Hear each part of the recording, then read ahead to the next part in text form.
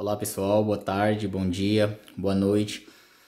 Não sei qual é o horário que você está vendo esse vídeo, mas passando aqui, né, para recordar, né, esse maravilhoso equipamento que reinou por muito tempo na nossa vida, né, na nossa sala, no nosso quarto, enfim, em qualquer lugar da nossa casa, na nossa vida.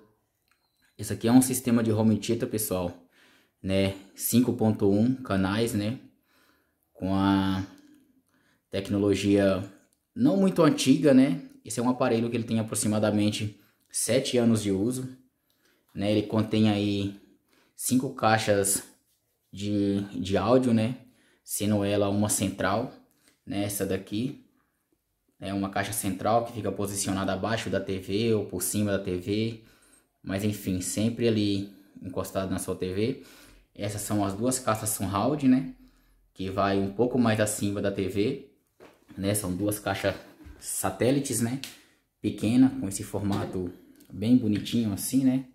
Maravilhoso. E ela também, esse sistema também contém duas, duas caixas traseiras, né? Estilo torre. Essas caixas aqui, pessoal, elas são grandes, né?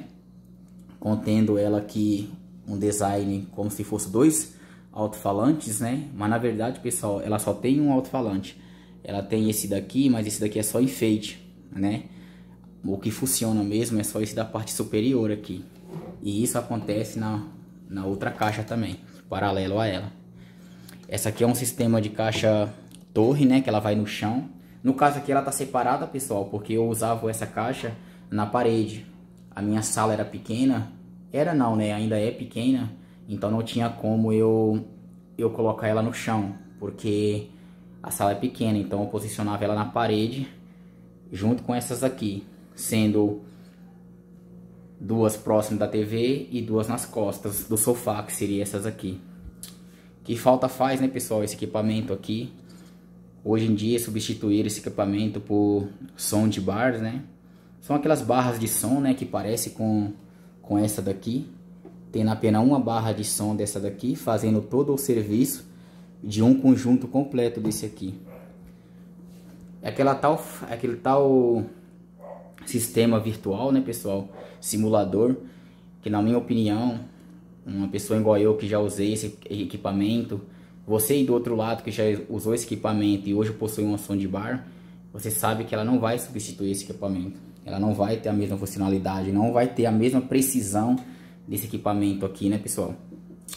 Faz muita saudade, assim como os mini system, né, também sumiu da, da, das lojas, né, sumiu das partilheiras dos, dos, dos supermercados, das lojas de eletrônicos, aqueles mini system contendo 5, 6 caixas, não sei se vocês já viram, antigo Sony Mutec, Philips, que já teve uns aparelhos gigantes com todas as suas frequências distribuídas, maravilhoso aquilo ali.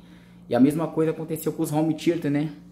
que também foi desaparecendo das partilheiras, dando espaço para som de bar, né?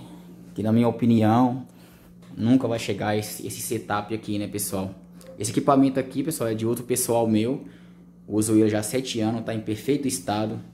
Tô fazendo aqui um, uma mudança na minha casa e eu tô mudando as posições dele. Ele ficava no meu quarto, agora ele vai para sala, né? Ele vai ele vai descer para sala porque no meu quarto ele deu lugar para esse equipamento aqui, ó. Esse novo equipamento aqui, pessoal. Mais completo, mais robusto, com muito mais tecnologia que há hoje no mercado. Né? Esse equipamento aqui é um home theater da Pine, um receiver, né? Um equipamento mais completo, com watts RMS real. Para você ter uma ideia, pessoal, esse receiver aqui tem 870 watts RMS um som estrondoso, uma qualidade superior. Já esse outro aqui da LG fala que tem 1000 watts RMS, para vocês verem a diferença, né? Olha o corpinho fininho desse aparelho aqui, que fala que tem 1000 watts RMS. Nunca, né, pessoal? Nunca, né? Agora esse daqui não, pessoal. Esse daqui contém 800 watts RMS. É um aparelho que pesa, pesa aproximadamente 8 quilos. Ele ainda não está instalado, está na caixa, que eu estou organizando o quarto. Mas esse aparelho aqui já contém toda a tecnologia nova, né, pessoal? Dolby Vision, Dolby Atmos, HDR, HDR10 e enfim, vários outros formatos de áudio, né? Então eu tô muito ansioso para montar ele e assim que ele estiver funcionando eu falo para vocês. Né? Eu não curto som de bar, pessoal. Ela é bonita e tal, né? Bem compacta, mas infelizmente não dá a mesma tecnologia, o mesmo som, tecnologia não, né, pessoal? O mesma qualidade de áudio desse equipamento aqui. Sinto saudade, né? Sei que uma hora ele vai parar de funcionar. Esse aqui é um aparelho mais simples, né, pessoal? Ele é ele faz o seguinte formato de leitura de, de vídeo, né? Igual você está vendo aí. Esse MKV, esse MKV, pessoal, ele é depois do MP4, né? o MP4 também é um formato de vídeo, mas o MP4 ele é um pouco pesado para reprodução, né? Para alguns equipamentos. Esse MKV aqui, esse formato MKV, ele é mais fluido, né? Ele suporta uma resolução melhor, ele suporta um áudio melhor, ele roda mais fluido no nosso aparelho né? Aqui ele tem o Smart, né? Que ele, é, ele é era um aparelho Smart, pessoal. Ele é Blu-ray. Pessoal, isso aqui, esse aparelho, ele roda DVD, Blu-ray, como você está vendo aqui, né? É, para você aí que tinha um equipamento desse e rodava mídia física, igual um CD, Blu-ray, é, a, a, qualidade da, da, do Full HD, do Blu-ray, pessoal, é muito bonito. A qualidade do som gravado num, num aparelho de DVD Blu-ray, rodado num aparelho desse home theater, o impacto do áudio, pessoal, é muito bom. Esses, esses streaming que a gente faz nos aplicativos aí, tipo Netflix, Prime Video, HBO Max, beleza, até roda legal, pessoal. Mas eu vou falar pra você, uma gravação original no, rodando num CD, num aparelho desse ou qualquer um outro, cara, é muito diferente. Você quando você vê o volume, vamos supor, aqui em casa, pessoal, eu faço teste. Vamos supor, eu tô assistindo um filme na Netflix, é via o streaming, né, lógico. Vamos supor que eu tô ouvindo o volume 20, né, ali no home theater, tô ouvindo o volume 20.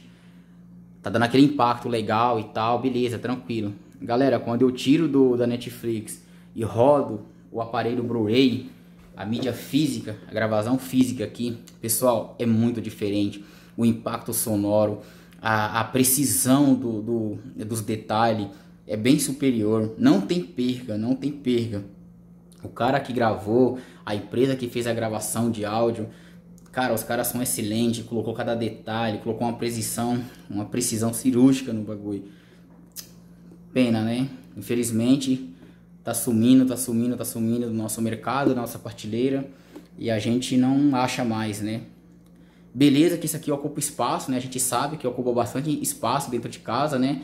Se você tem uma casa pequena, uma sala pequena, é lógico, tem aquela passação de fio, vai passar fio para lá, fio para cá, que é o caso meu aqui que eu vou passar na sala, vou ter que passar fio, mas eu prefiro passar o fio e ter uma qualidade sonora superior, bem melhor, bem mais gostoso de ouvir, do que ter um simulador, um negócio virtual, uma uma tecnologia artificial ali que fica te enganando, que tem mais falha do que tudo. Nada, pessoal, substitui uma caixa física dessa aqui. Se você colocou uma caixa física dessa aqui lá na parede, pessoal, você vai ouvir ela onde que ela estiver. Você pode esconder ela debaixo de um pano, de algum lugar, que você vai ouvir ela bater. Você vai ouvir o som que ela vai reproduzir. Já, já o sistema virtual não, né? O simulador não. Não pode ter nada na frente, não pode ter nada atrapalhando não pode ter janela aberta, não pode ter nada, não pode balançar, você não pode abrir a porta que perde o som. Aqui não, né, pessoal? Aqui é maravilhoso, aqui aconteceu, ficou, né? Não tem essa, aqui é caixa física, aqui é físico, aqui você consegue tocar, aqui você consegue ver, né, pessoal? Como eu falei, pessoal, esse é um aparelho Blu-ray, né? Ele contém aqui poucas tecnologia em áudio, né? Ele tem Bluetooth. Esse Bluetooth dele aqui, pessoal, é o 4.0 acredito eu. Ele tem Blu-ray, que era a última tecnologia, né, em, em DVDs assim, foi o Blu-ray.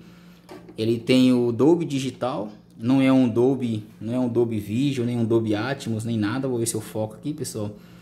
É, ele não é um Dolby Vision, ele é um Dolby Digital, né?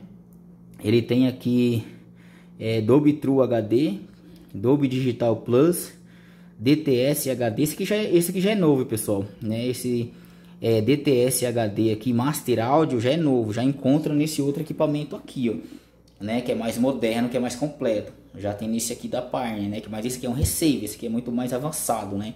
e bem mais caro também, né, pessoal? Agora voltando aqui, ele tem aquele upscale, né?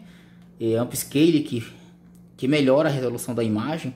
Vamos supor, se você tem uma imagem em HD, 1200, 1240 por 720, que é o HD, ele tenta aproximar ela do Full HD, né, que é o 1920 por 1080p, né? Então ele tenta simular. E a mesma coisa é aquela televisão, né, que tem o upscale integrado nelas, que pega uma imagem baixa, de resolução baixa e tenta aproximar do 4K, né? E aqui tá aqui, pessoal, tô aqui só dando uma passada no tempo aqui, voltando no tempo um pouco, mostrar para vocês aqui quem tiver esse aparelho ainda na sua casa, pessoal, faz um comentário aí pra mim. Fala se você gosta, se você não gosta, se você prefere esse aparelho aqui físico do que uma soundbar. É lógico, pessoal, que as soundbars são legais, é. elas são legal também, dá um som bacana, bate bem e tal, mas é que nem eu tô falando, você não sente a mesma emoção e assistir um filme ou uma música em um aparelho 5.1 de caixa física, né? É, aparelho físico ali, você vê ela ali, tem um alto-falante lá, você sabe que ele tá lá, tá bom? Desculpa o barulho aí, pessoal, mas tem uns cachorros aqui, tá latindo, tá atrapalhando o vídeo. Pessoal, você que chegou até aqui, peço por favor que dá um like no vídeo, curte, faça comentário, tá bom? É, dá um seu gostei, ajuda a gente aí, ajuda o canal, que eu vou estar tá sempre trazendo coisas novas aqui para vocês, tá bom? Nesse caso aqui não é um aparelho novo, mas é uma recordação. Eu tô passando aqui só para recordar junto com vocês e talvez lembrar vocês também, né, que já usou esse aparelho, né, pessoal? Essa caixa aqui, pessoal, ela tem aproximadamente um metro, né? Ela teria um metro de altura, ela tem mais uma outra parte que emenda nela aqui, ó, na parte de baixo, a cópula aqui, e ela fica com um metro fora do chão. Para quando você estiver sentado no sofá, ela fica aproximadamente da altura dos seus ouvidos, né? É assim que funciona, né? Dá um ângulo nele aqui para vocês, ó. Maravilha, né? Ele ainda tá funcionando bem, pessoal. Ah, pessoal, ele tem CD também, ó. Como ele é Blu-ray, né? Lógico, roda CD. Ele, ele é karaokê, tá vendo? Tem as entradas do microfone ali, ó. Entrada, duas entradas P10. Ele tem é, pendrive, né? 2.0 é 1.8, não sei. Roda também vídeos, música, foto, enfim, algumas coisas. É isso aí, pessoal. Deixar aqui Espero o seu, seu gostei, o seu joinha. Mandar um abraço aí para mais uma vez aí pro seu Antônio também que curte, o meu amigo Flávio lá de Tapsirica da Serra, famoso Batata, o seu Antônio da Manutenção, que trabalha junto comigo em Taboão da Serra. Um abração para você aí. E meu amigo Rafael, é, todos vocês aí, tá bom? E aqui está, tô voltando um pouco no passado, junto para lembrar vocês aqui e não deixar no esquecimento desse equipamento, né? Esse e muitos outros aí que era de extrema qualidade que sumiu do mercado. Então é isso aí, pessoal. Um abraço, tamo junto, valeu!